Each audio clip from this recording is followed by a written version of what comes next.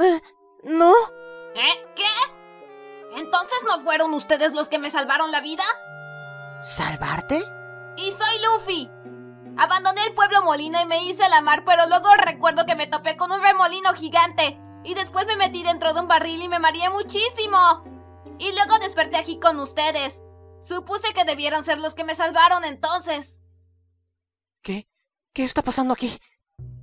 Recuerdo que ayer tuve una conversación tonta con la señorita Kaya y estuve jugando con Pimiento y los demás antes de irme a dormir.